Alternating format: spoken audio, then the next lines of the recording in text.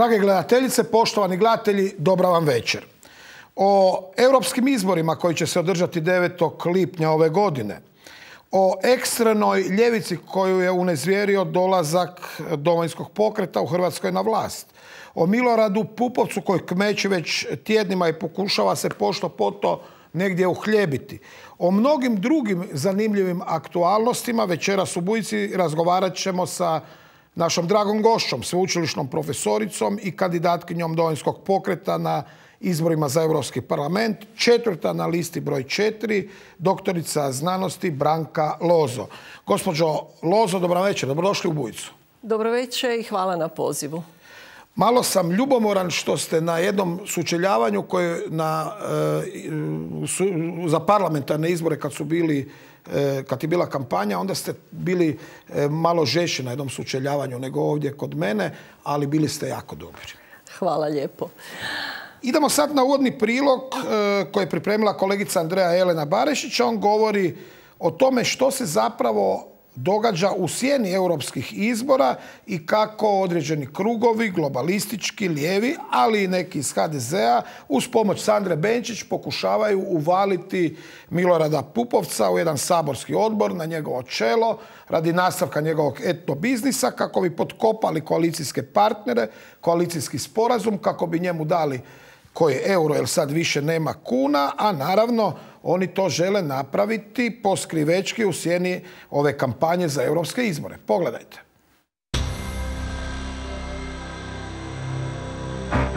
Diljem Europe raste fašistička desnica. Ne bilo kakva desnica, raste fašistička desnica. A vidite, mi imamo i u Hrvatskom parlamentu stranke koje napadaju temeljne vrijednosti antifašizma.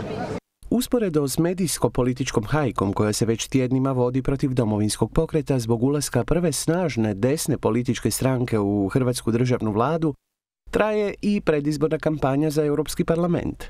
U sklopu ove kampanje mi ćemo se kao domovinski pokret zalagati za očuvanje suvereniteta Hrvatske, a tako i svih drugih pojedinačnih zemalja u Europskoj uniji. Odnosno, protivimo se stvaranju Europske unije kao neke naddržave u kojoj bi glas pojedinih zemalja, naročito Hrvatske kao male zemlje, mogao biti izgubljen. Za razliku od ekstremne ljevice koju huškačkim izjavama apostrofira notorna Sandra Benčić, čak i centrističko-liberalni komentatori poput Davora Dženera Europsku listu domovinskog pokreta nazvali su superiornom u odnosu na sve ostale. Slogan mi je e, Croatia first, dakle Hrvatska na prvom mjestu. E, naše članstvo u Europskoj uniji zahtijeva jedno veliko državničko umjeće kako bi zaštitili e, svoje strateške interese. Inzistirat ću da i zadržimo pravo, pravo veta o ključnim pitanjima. I na kraju što se tiče vrijednosti Europske unije, inzistirat ću da se njeguje kršćanska baština i da kršćanska moralna načela budu provedena još uvijek u, u našoj Europi. U napadima na domovinski pokret prednjače Soroševi mediji poput Telegrama, a koliko je radikalno nezadovoljstvo jugoslavenske ljevice zbog ulaska domovinaca u hrvatsku vlast, najbolje govori naslovna stranica portala Pupovčevih novosti, na kojoj čak osam od ukupno deset članaka rezervirano za brutalne napade na DP. Pa će tako biti i sa odborom za ljudska prava i prava nacionalnih manjina, koje već četvrt stoljeća vode predstavnici nacionalnih manjina, uključujući i mene u proteklom sazivu. Milorad Pupovac, koji je već po drugi put na Zagrebačkom kaptolu snimljen na konzultacijama s Budimirom Lončarom, lukavo pokušava prevariti domovinski pokret i njegove birače, pa na ljevoj strani sabornice traži potporu za uhljebljenje u fotelje predsjednika Saborskog odbora za ljudska prava i nacionalne manjine. Ucijenjivati da ne može predsjedati odborom neko ko reprezentira srpsku nacionalnu manjinu je civilizacijsko dno i ja se nadam da će klub nacionalnih manjina kao i HDZ, kao i svi ostali u Saboru, tome reći odlučno ne. Nevjerojatno je da predsjednikom Parlamentarnog odbora za ljudska prava jedne države članice Europske unije želi postati lik koji pripada Beogradskom kružoku negatora genocida u Srebrenici. Nije bio genocid u Srebrenici, još jedno.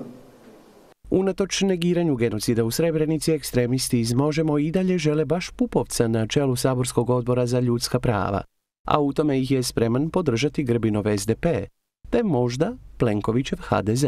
Sad dolazi dva tjedna stanke, oni imaju loptica je dakle u njihovom, u njihovom dvorištu, oni su stranka od 61 zastupnika, oni su stranka koja je imala određene partnerske odnose sa SDSS-om i Miloradom Pupovcem i oni moraju riješiti ovaj problem. Znači, Andrej Plenković taj problem treba razriješiti. Domovinski pokret, unatoč snažnim udarcima koje prima sa svih strana, pruža otpor i solidno stoji u anketama prije europarlamentarnih izbora 9. lipnja. Predsjednik stranačkog parlamentarnog kluba, dr. Igor Peternel, jasno je u Bujici dao do znanja da bi eventualno imenovanje Milorada Pupovca predsjednikom odbora koji pripada vladajućoj kvoti, uz potporu HDZ-a značilo kršenje koalicijskog sporazuma s DP-om i vrlo izvjesno izazvalo krizu nove vlade. Interesantno je ponašanje Furija Radina. On se zapravo poziva doslovce na običajno pravo. Došlo je vrijeme da se taj, da se taj običaj promijeni. Kada bi sad SDP izašao u susret i glasova sa HDZ-om za Pupovca, Biste li vi to smatrali mogućim zametkom nekakve velike koalicije? To me ne bi uopće začudilo jer SDP očigledno nije htio u svojoj kvoti e, e, podržati Milorada Pupovca za predsjednika nekog drugog odbora. Očigledno su oni procijenili da će na ovaj način unijeti razdor u našu koaliciju, odnosno da će Pupovac tražiti e, to, to mjesto.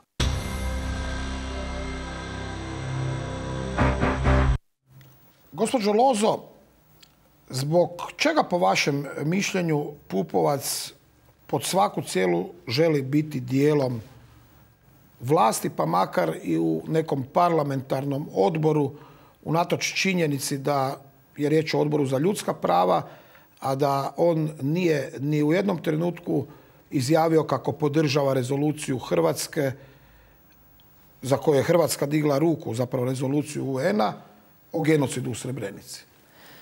Pa s jedne strane se može vrlo lako raditi o nekakvoj već navici, premda to je vjerojatno e, najmanje važan razlog sa Pupovčeve strane, navika da je u vlasti u jednom kontinuitetu ovako dugi niz godina. Vjerojatno je daleko važniji argument s njegove strane sve privilegije koje je s takve strane imao, dobivao, bez obzira što su brojni članci objavljeni i istina je da on u biti ne reprezentira srpsku nacionalnu manjinu u Hrvatskoj, već prvenstveno sebe i svojih nešto istomišljenika. To je jedan aspekt. Drugi važan aspekt je pozicija kojom on, zahtjevajući predsjedništvo upravo takvog odbora, u biti svjesno zabija jedan klin razdora između postignutih e, koalicijskih partnera i novo formirane vlasti i to je na određeni način jedan prvi test na kojem se može vidjeti ustrajnost DP-a da ostane dosljedan svojim zahtjevima sa početka pregovora.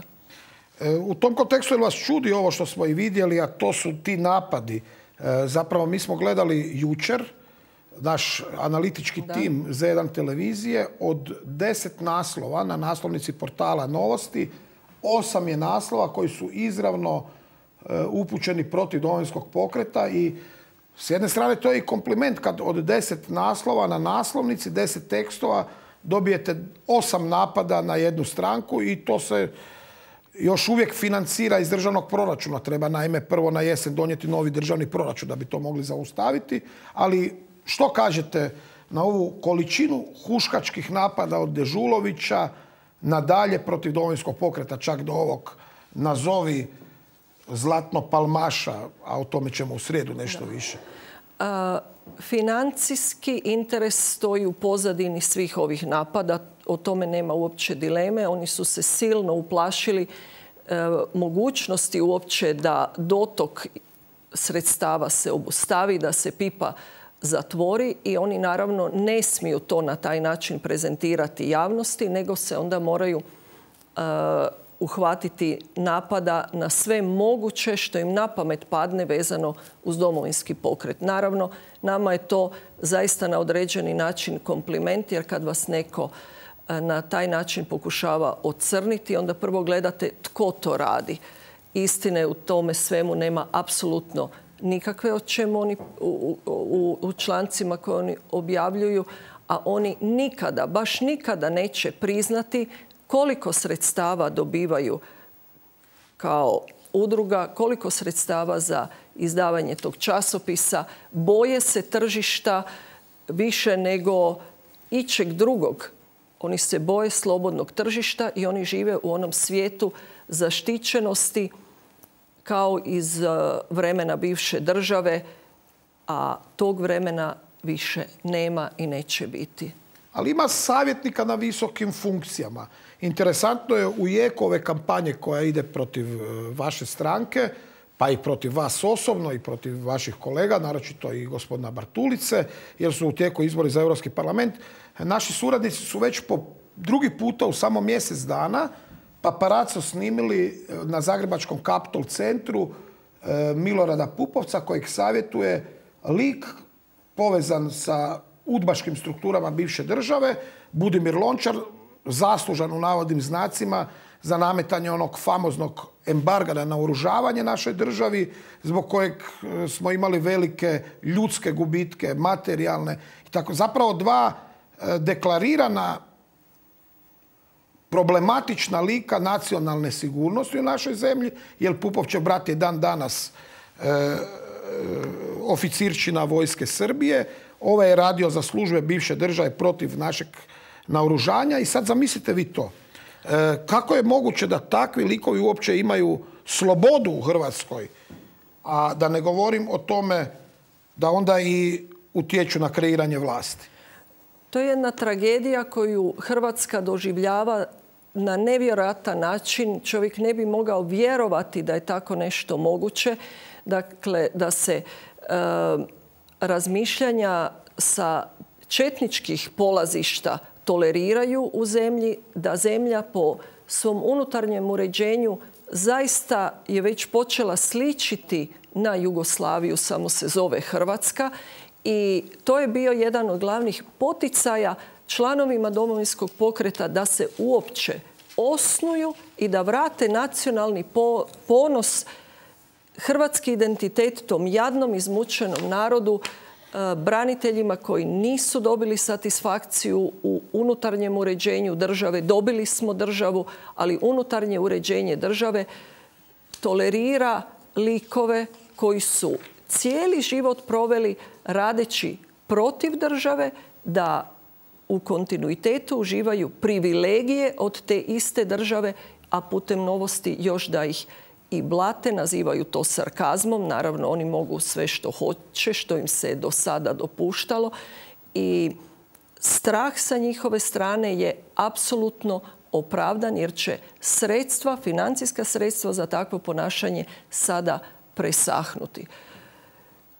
Pupovac kada sjedne na kavu sa Budom Lončarom može čuti sve što i tko razmišlja u našem istočnom susjedstvu pa ne mora svaki puta putovati preko granice da bi dobio kvalitetne savjete iz tog pravca. Vi ćete dakle kao visoka dužnostica jedna od ključnih autorica programa Domovinskog pokreta koja je u ostalom dobila i eklamacijski pljesak, aklamacijski pljesak u Lisinskom.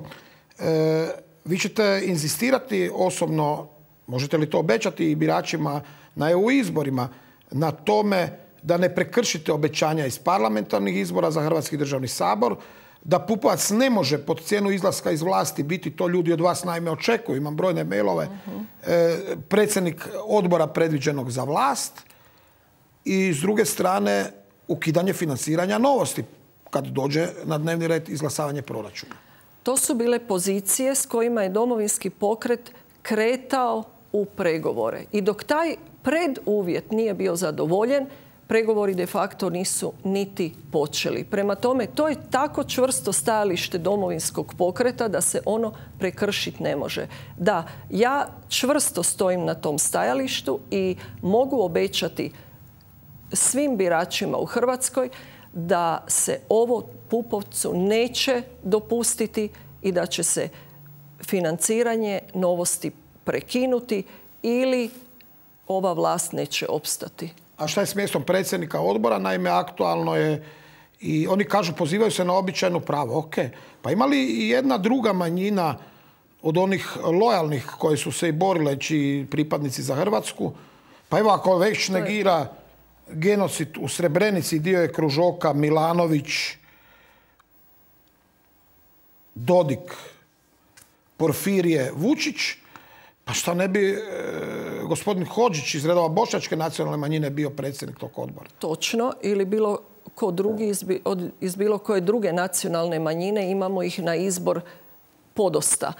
A pozivati se na nekakve običaje koji u biti nisu običaj, nego je jedan profiterski uzus je upravo sramotno po mom mišljenju i e, razdoblje na koje se poziva Pupovac nazivajući ga e, običajem je u biti bilo samo jedno razdoblje iskorištavanja Hrvatske države na štetu pravovjernog hrvatskog pučanstva. A sve veličanje nehrvatskih ideja on ne spominje, on nema nikakvog niti sažaljenja, niti pokajanja, niti poštuje žrtve koje iz domovinskog rata, ne poštuje ni domovinski rat, nema ga na obilježavanjima ni bljeska, ni oluje, nema ga u Vukovaru na danu obilježavanja sjećanja na žrtve Vukovara.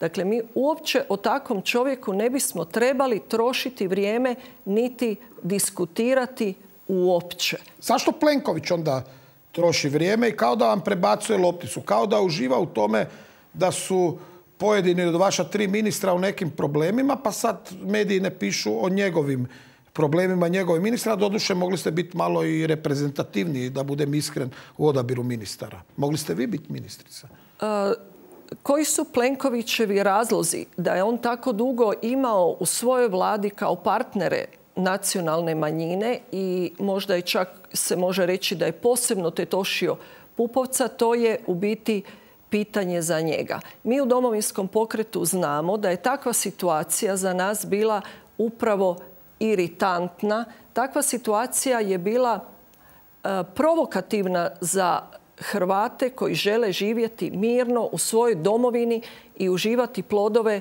nastanka te zemlje koju su, još uvijek ih ima živi, hvala dragom Bogu, e, stvarali o uzrocima i, i e, domovinskog rata ne treba uopće govoriti tko je tada birao strane.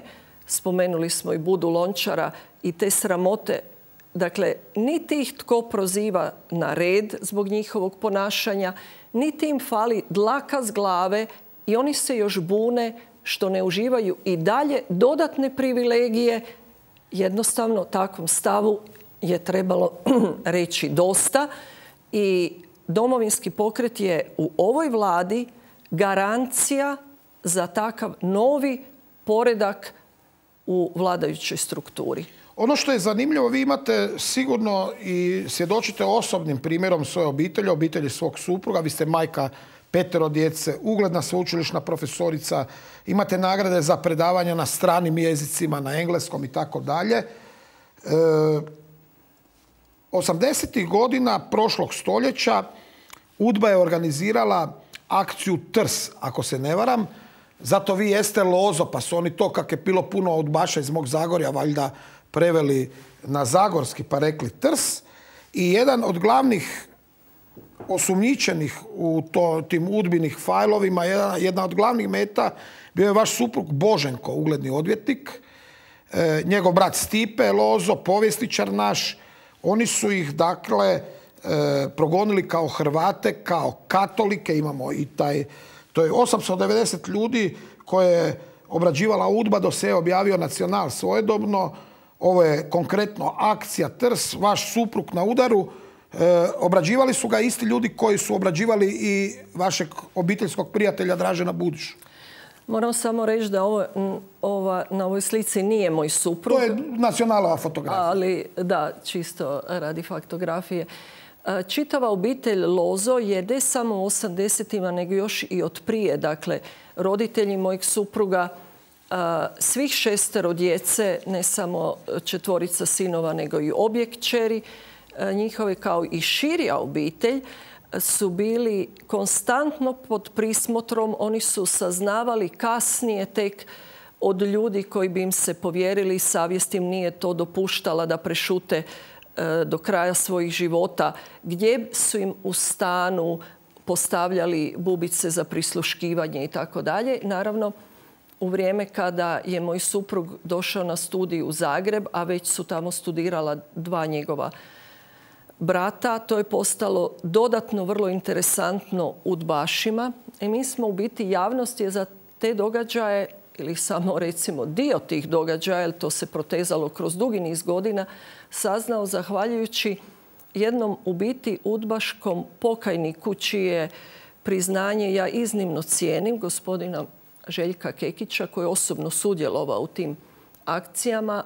Tužno je jedino što je on jedan od malobrojnih, ako ne jedini udbin e, pokajnik iz tog razdoblja. To je zaista nevjerojatno.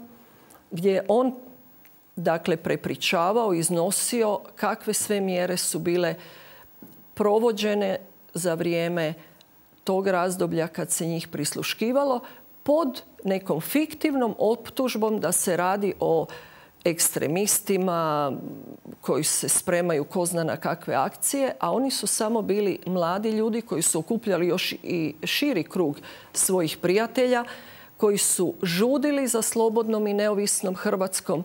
Ništa nepodobno oni radili nisu osim što su čitali različite tekstove koji su se na različite načine mogli dobiti što iz inozemstva, što ovdje na hrvatskom tlu. Družili se sa istomišljenicima i poslije u raznim situacijama i trpili zajedno sa njima.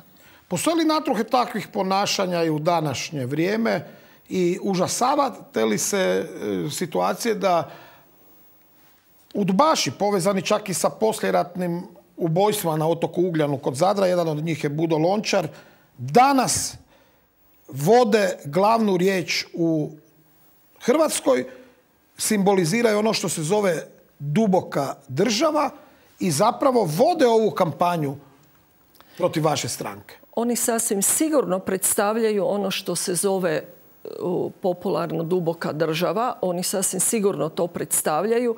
Kolika je njihova snaga, ja to ne mogu znati, ali e, da napadi dolaze iz takvih struktura, to je više nego evidentno. Nama je to jasno, jer za nas, e, mislim ja sam ovdje bila, e, da kažem, više posredno promatrač, sve su silnice bile usmjerene na obitelj moga muža, obitelj Lozo.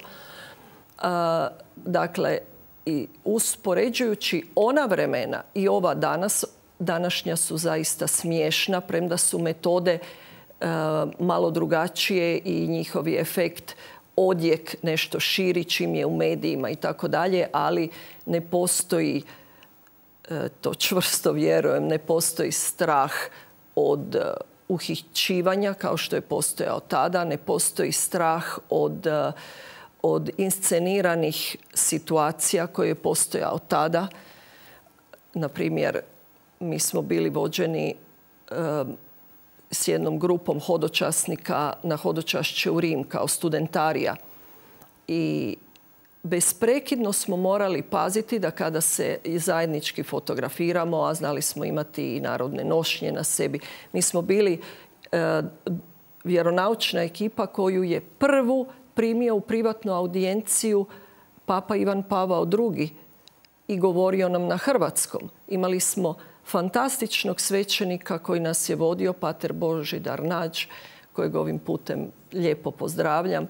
Dakle, mi smo morali besprekidno paziti da kada bismo se fotografirali, da iza nas ne protrčavaju udbini umetnuti e, kao naši e, suputnici sa nedopuštenim zastavama iz onog doba. Jer onda bi nas takve fotografije inkriminirale. Koje su to godine to bile? se i 80. događalo. znači. To su bile kraj 70-ih, početak 80 Što je najcrnje što pamtite iz situacija u kojima se našao vaš suprug, vaša obitelj? Pa izdvojila bi dvije situacije. Jedna je situacija koja se širi i na njegovu braću, a to su njihova odsluženja vojnih rokova za vrijeme JNA. Što je svaki od njih četvorice, pa i neki rođaci prolazio za vrijeme tih službovanja, e, to je vrlo teško uopće za ispričat, ali tu je zaista bilo podmetanja opasnih po život ne mome suprugu, nego jednome od njegove braće. A praćenja, prisluškivanja, e, nadzor nad svakom izgovorenom riječi, to je bilo besprekidno za vrijeme čitavog trajanja vojnog roka. Druga je situacija, jedan pretres e, e, kuća, dakle njihove obiteljske kuće u Splitu i naše u Zagrebu gdje smo živjeli e, tada moj muž i ja sa tada dvoje male djece. I to baš u trenutku kad sam ja putovala od svekra i svekrve iz Splita za Zagreb sa dvoje djece. Moj muž je e, bio u Zagrebu sam. Sam u kući imao je 26 godina i e, policija, odnosno milicija, uključno sa vojnom milicijom pod e, ozbiljnim naoružanjem je okružila kuću i u pet ujutro tražila pretres. E, ja sam za to naravno saznala tek naknadno. Neko je nekome to dojavio od naših susjeda pa su mene preusmjerili da vrativši se iz Splita u Zagreb ne idem svojoj kući nego kod mojih roditelja i tamo sam čekala do navečer, nisam zaista znala uopće što se događa. A moj suprug je bio dovoljno pribran, premda tako mlad, e, tada da je tražio da samo jedan od njih uđe s njim u kuću dok se obuče, jer je bio u pidžami, da zajedno izađu iz kuće, zaključaju kuću, odu po dvije susjede koje su obje pristale da e, budu svjedoci tog pretresa i da se onda vrate zajedno u kuću i postavio uvjet tim inspektorima koji su provodili pretres da budu svi istovremeno u jednoj prostoriji i da niko ne hoda po ostatku kuće sam bez da je moj muž prisutan. I to je tako trajalo cijeli cijelcati dan. Koliko su vam djeca bila tada stara? A, djeca su bila mala, e, možda godinu i dva mjeseca i dva mjeseca. I sada čuju ove današnje generacije što je bio formalni razlog pretresa. A, Formalni razlog je u biti bila panika koja je hvatala te a, udbaše što kroz dugi, dugi niz godina a, prisluškivanjem, osluškivanjem, insceniranjem, jednostavno oni nisu imali nikakvog materijala, nikad ništa nisu našli da bi ih mogli privest, zatvorit ili ostvariti te svoje, ja mogu reći, fantazije u kojima su oni ovu obitelj gledali kao neprijatelja države. I jednostavno bližio se e, trenutak da moj suprug ide u vojsku i oni su odlučili pokušati nešto ovdje naći. Moj muž je povrh toga bio vrlo promučuran e, i uvijek je znao nanjušiti. Tako su oni svi odgajani i, i druga njegova braća i sestre to zaista znaju vrhunski prepoznat. On je nanjušio u jednom događaju koji je prethodio tom pretresu možda dva tjedna, kad ga je neki poznanik zamolio da mu samo nešto, neke materijale spremi kod nas u garažu na kratko vrijeme. Moj muž nije znao niti što je to, ali je on to odbio riskirajući raskid prijateljstva sa tom osobom. Ali to su vrlo vjerojatno bili neki podmetnuti materijale koji bi onda ovi udbaši u kući našli. Dakle, suma sumarum, nakon cijelodnevnog pretresa na dvije adrese, u dvije kuće, u Splitu i u Zagrebu, oni su odnijeli a, zastavicu crven, bijeli, plavi s onim malim ružmarinom koja se tada na svadbama, kojom se rever kitio na svadbama. Odnijeli su iskaznicu, iskaznicu padobranskog kluba kojem je moj muž pripadao, bavio se padobranstvom. Odnijeli su iskaznicu radio amatera jer se i time bavio kao hobijem. Odnijeli su od mog šogora Stipe Loze tipkači stroj i nekoliko fotografija. Eto, to je bio njihov ulov E, nakon takve akcije pod punim naoružanjem gdje je cijelo susjedstvo bilo izloženo određenom strahu i podozrivo nas gledalo. kasnije, nakon nekog vremena su zvali iz milicije da slobodno se dođe po taj tipkači stroj, što je e, Stipe Lozo apsolutno odbio, jer tko zna što su oni u međuvremenu tamo natipkali pa bi ga inkriminirali i radi toga. Možda još uvijek stoji negdje u njihovim depojima. Nešto. Ajmo sada, ajmo sada vidjeti e, kao jedan, e, jednu važnu poruku apropo sve ovog što smo čuli i onog što proživljavaju naši ljudi, nažalost, još uvijek. I zbog toga je važno ući u strukture i obračunati sa dubokom državom, a bez cenzure ćete vidjeti fantastičan dio propovjedi Frajoze Grbeša sa Blajburga 17. svibnja ove godine.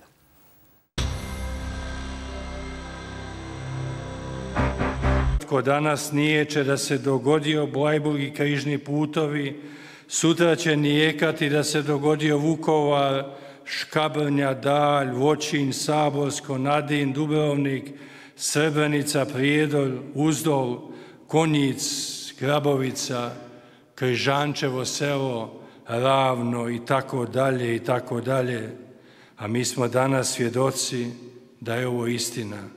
Kao što su i oni prije nas svjedoci Blajbuške istine. Hrvatska prečesto živi u velikim zabludama. Komunizam je prečesto i dalje prihvatljiva ideja Hrvatski Blajburzi, Mirogoji, Savske i Gračanske ceste, Goli otoci i gradiške su nepostojeća tema hrvatske sadašnjosti. Samo u Zagrebu i okolici ubijene su tisuće ljudi u ovom istom svibnju kada i ovdje. Ljudi danas po grbovima hodaju, a grad Zagreb i danas slavi zločince, zahvaljuje partizanima, istim onima koji su pobili i moju braću i stotine, stotine hrvatskih svećenika. Na Mirogoju i danas čak prekopano groblje. Do danas, 2024. godine, ne dopušta se obilježavanje tog mjesta. Nametnuli su nam staru ideologiju lažnu priču kako bismo izgubili svoju. Zabranivali grb s ovim ili onim poljem. Zabranivali povijest ovakvu i onakvu. Mitove nekih drugih mjesta stavljali na pijedesta osjećanja kojima se klanja sve što ima moć. Mitovi povijesti veličanja lažnih mjesta i datuma i dalje je na snazi u demokraciji 21. stoljeća. U zemlji Hrvata i dalje može zajedno crno i bijelo, komunizam i demokracija, istina i laž, Kumrovec i Vukovar, Zrin i Srb, 27. srpnja i 30. svibnja, sve može. Ovo ova samoubivačka kombinacija jeste razarajuća za naciju sadašnjosti i za djecu budućnosti koja, ja vjerujem, samo traže istinu. Ona rađa zbunjenost u mlađim naraštajima jer ostaje pitanje što je istina.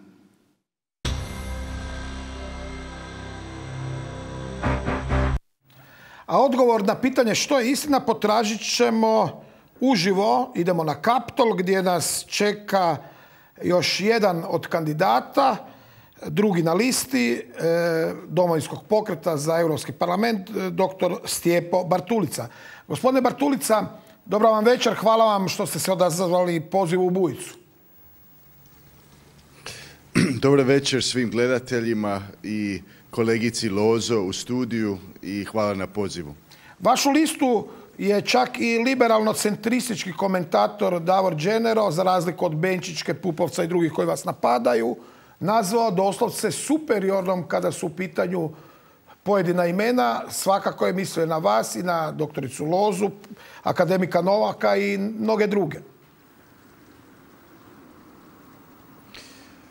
Da, pa gledajte, e, ja sam vrlo optimističan, mislim da ćemo ostvariti e, odličan rezultat e, kao i na parlamentarnim izborima. Malo sam slušao razgovor koji vodite večera sa kolegicom Lozo i ovo što je govorio Fra Grbeš nedavno u propovjedi. Pušta se jedan spin u Hrvatskoj da mi vrlo malo smo postigli, da u biti nismo dobro e, ispregovarali sa HDZ-om i tako dalje. A kad se gleda e, koliko e, nas napadaju, koja je to žestina napada. Ja sam postao prava meta svaki dan novi naslovi, etikete i slično. Ja sam uvjeren da smo na dobrom putu. Dakle, e, kad čujem što je obitelj Lozo e, prolazila, ali i mnogi drugi, e, ovo što se meni i drugima danas događa je ništa. Dakle, ako neko kaže da sam ja konzervativac ili ultrakonzervativan, što god to značilo, ja mogu sa osmijehom E, time živjeti. Dakle, mi nećemo odustati od svojih načela. E, što se tiče e, komunizma, ovo što je, što je poručeno u propovjedi je istina. Dakle, treba radi mladih naraštaja inzistirati na istinu, da Hrvatska dobije novi muzej za žrtve komunističkog terora, kao što imaju i druge zemlje i mislim da to je najmanje što možemo dati e, onima koji su trpjeli to zlostavljanje. Dakle, to je minimum minimuma kad već Hrvatska nije e, provela lustraciju. Mislim da je već vrijeme da to napravimo i rekao sam više puta da mnoge strukture e, žele nam se osvećivati jer neće nikad to oprostiti. Gospodine Bartulica, pratili ste 25. svibnja i bal vampira, vjerujem, u Kumrovcu. Jedna velika sramota, a sramotno je i to da je tamo domaćin bio e, načelnik, čini mi se, Šplajt. Potpuno mi je nebitano ime, je čovjek potpuno nebitan. Ali on je bio 11. na listi HDZ-a u prvoj izbornoj jedinici. Sad je tamo okupljao Stipu Mesića. Pupovac se sastaje s Budom Lončarom. Vidjet ćemo i sad e, tijekom vašeg javljanja kadrove bala vampira, zapravo ne može se tu, kad je u pitanju obračun sa komunističkim totalitarizmom, nikako i ne smije radi higijene mentalne nacije sjediti na dvije stolice. Pristajete li vi sjediti na dvije stolice ili ćete tražiti odgovornost onih koji veličaju diktaturu koja je eto nanjela veliko zlo hrvatskom narodu, vrhu katoličke crkve, civilima i nedužnima?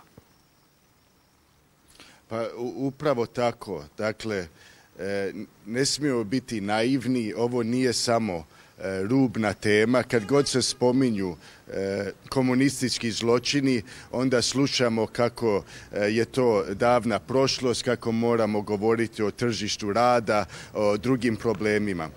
Da kako tu smo tu da rješavamo i te aktualne probleme, ali mislim da je svima jasno da ove strukture ne žele da se istina e, razotkrije. Dakle, oni su e, već predugo zatajili e, te činjenice.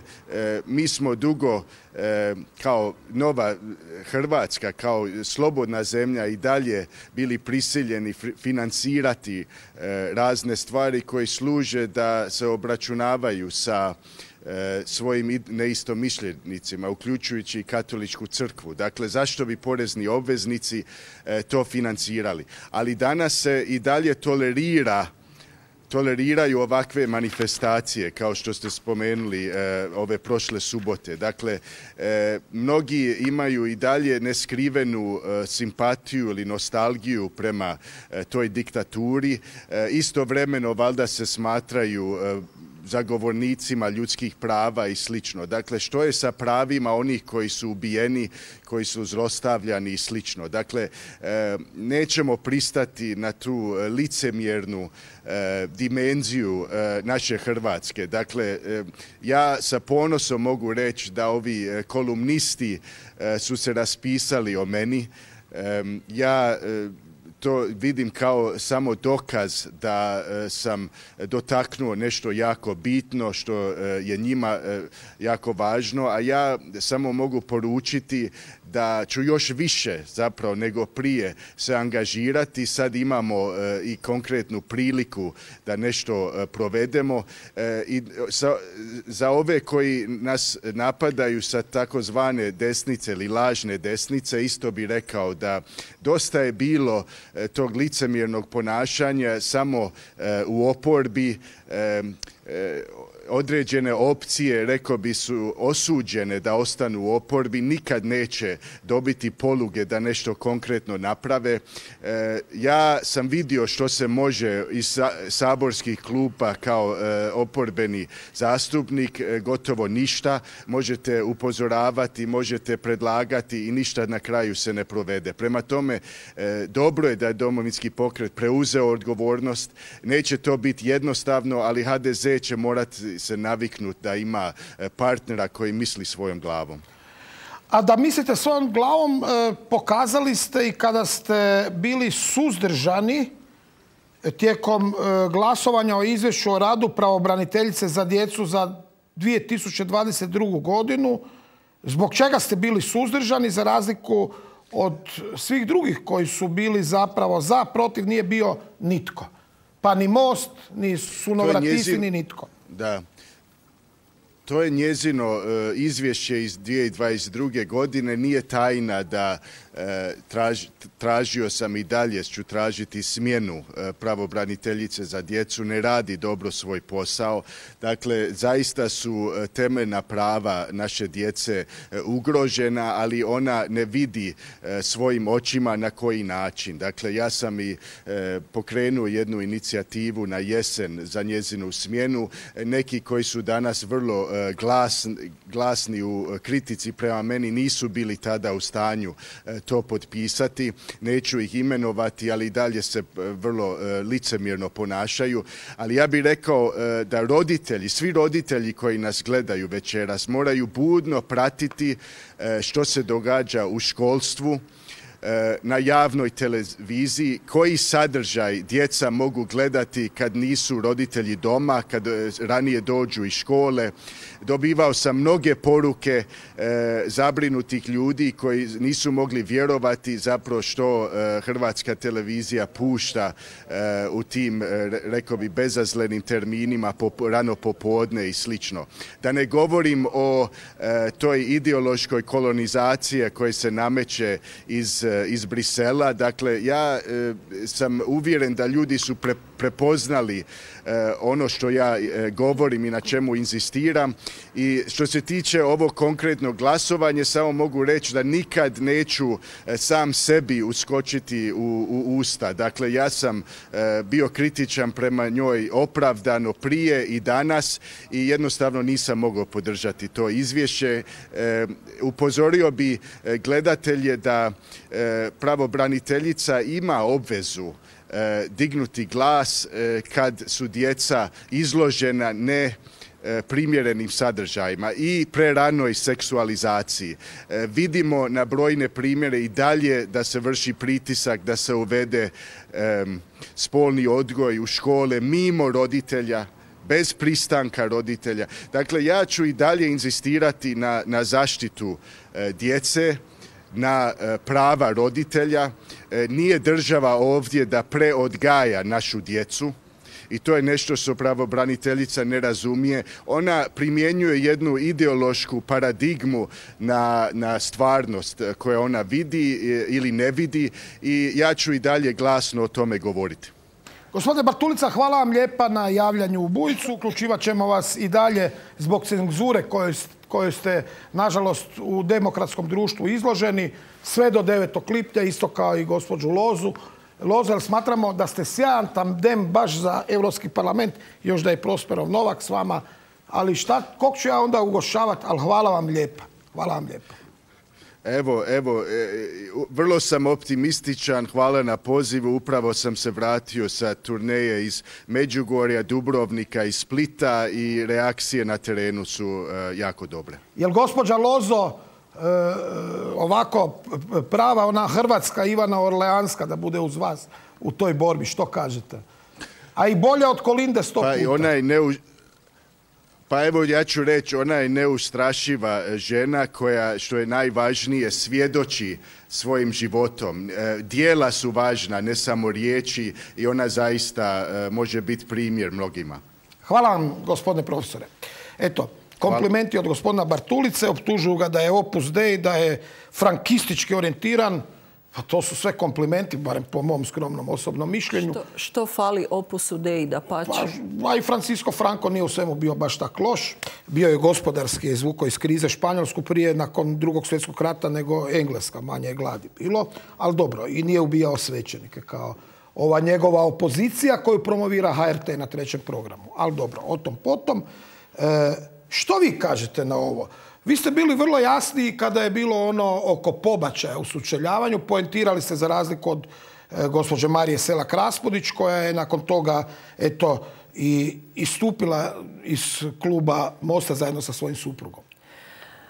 Ako netko, bilo koja osoba, pogotovo u javnom e, prostoru, nije u stanju svjedočiti svoje iskrene i, i, i duboke stavove o bilo kojoj temi, onda je to promašeni put. Dakle, ja mogu jedino svjedočiti ono u što vjerujem, a to je zastupanje za pravo na život od začeća do prirodne smrti. Ja sam to već spominjala vezano i uz tekst programa Domovinskog pokreta koji je u biti naš politički program, nije to samo predizborni program u kojem sam e, spomenula i opasnost koja nam prijeti iza ugla, a to je, e, e, to je odnos prema eutanaziji, kojeg vidimo da su neke zemlje već odobrile.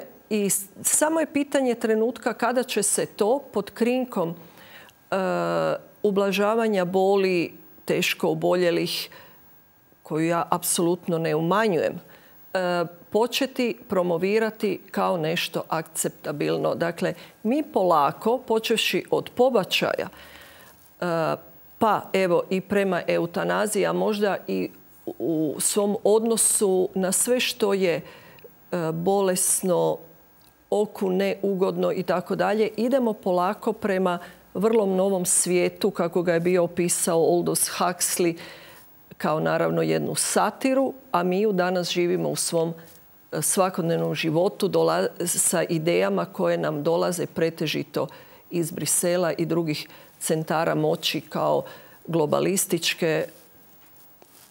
I e, mislim da se e, svi koji vjeruju u, u zaštitu života i pravo na život i ostale konzervativne tradicionalne vrijednosti jednostavno trebaju tome toj najezdi e, neprirodnih ideja suprotstaviti, iznijeti svoj glas, pa šta god se poslije dogodilo. Ako nemamo odvažnosti stati za svoje stavove, onda možda nismo niti vrijedni da ih živimo.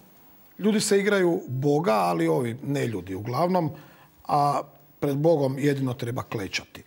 E, dajte jedan lijepi odgovor na sve ovo ove neke negative, pa ćemo još jednu barem prokomentirati. Ajmo vidjeti kako to rade e, pripadnici e, naših hrvatskih oružanih snaga, naši ratni veterani, redarstvenici aktivni, aktivni častnici, e, pripadnici Hrvatske vojske u Lurdu na 30. poredu vojnom hodočašću.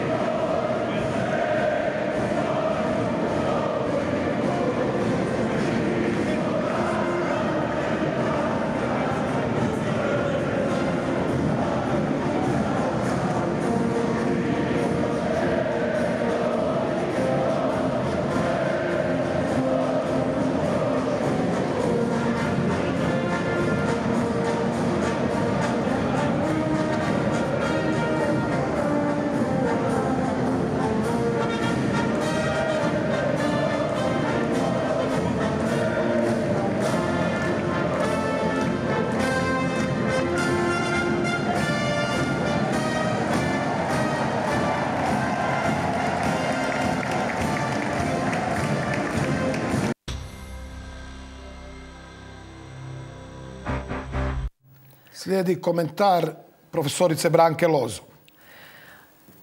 Ove scene koje smo sada vidjeli, koje, e, od kojih naviru blago i suze na oči i trnci, vraćaju nas u 90. godine kada je cijela Hrvatska bila potpuno ujedinjena uz budnice koje slušamo, uz naše vojnike koji su se tada tek stvarali i rađali od golorukih prema ustrojnoj vojsci i uz zagovor Majke Božje, uz molitve Majci Božje, uz one silne krunice koje su poneke od njih i doslovno spašav, znali spasiti od smrti, uh, utjecali se dakle Majci Božjoj i izrodili nam ovu predivnu Hrvatsku. Ovo je velebno kako se može danas hodočastiti u Lurd, zahvaljivati Majci Božjoj i vrlo sam sretna što se to hodočašće razvilo u tradicionalno i nadam se da se nikad neće zatrti.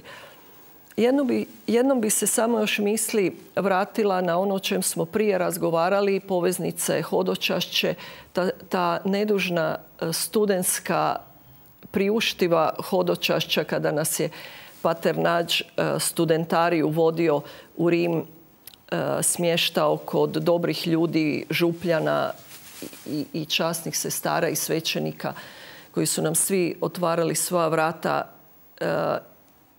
vezano uz događaje koje sam prethodno opisala, jedan je iskusio i sam naš pater Nađ.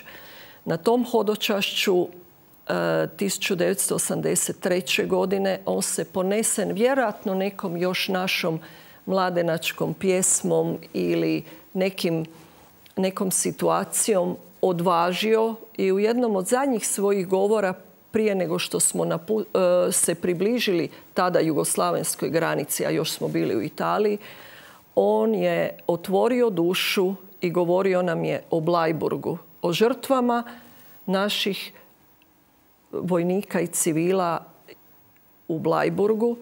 Takvom gorljivošću neki su tada prvi puta uopće čuli za tu tragediju.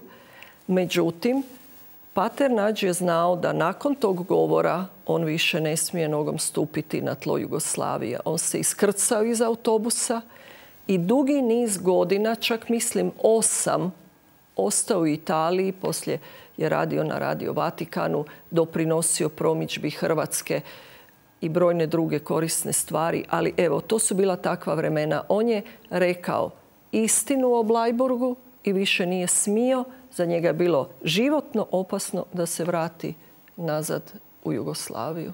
Hoćete li sutra, za kraj, kao europska zastupnica, dići svoj glas prekršili Austrijanci minimum civiliziranosti i ne dopustili dogodine obilježavanja i komemoriranja naših žrtava povodom velike 80. obljednice stradanja? Apsolutno da Austrijanci bi se samo trebali sjetiti nekih situacija iz povijesti kada su im prijetile velike pogibelji, kada su ih spašavali pripadnici oružanih snaga drugih naroda. Mogli bi se sjetiti i ruske prijetnje iz koje su se jedva izvukli iza drugog svjetskog rata. Prema tome, njihovo nepoštivanje naših žrtava umjesto da zajedno s nama žale što se to dogodilo uopće na tlu Austrije, uh, njihovo odbijanje proslave i odavljanja pijeteta tim žrtvama je za mene apsolutno neprihvatljivo. Međutim, vjerujem da će se klima i u Austriji promijeniti. Ako ni zbog čega drugoga, onda zbog pravne situacije kojom je to Blajburško polje vraćeno iz privatnog vlasništva koje je moralo biti e, fiktivno prikazano zato jer se formalno pravno drugačije niti, je niti moglo i danas je ono ponovno na raspolaganju počasnom Blajburškom vodu. Gospođo Lozo, hvala vam od srca na gostovanju. Još ćemo vas zvat, pa makar i u nekim javljanjima do europskih izbora. Hvala. Hvala vam najljepša. Bila je velika čast razgovarati s ovakvom damom. Bila je to gospođa Branka Lozo, sveučilišna profesorica, majka petero djece, žena iz obitelji hrvatskih stradalnika, boraca protiv jugoslavenske okupacije 80-ih, broj četiri na listi broj četiri. savjet vodstvu Domovinskog pokreta. Imate ljude, imate žene, njihov prvi plan i imat ćete veći ugled u javnosti. Doviđenja.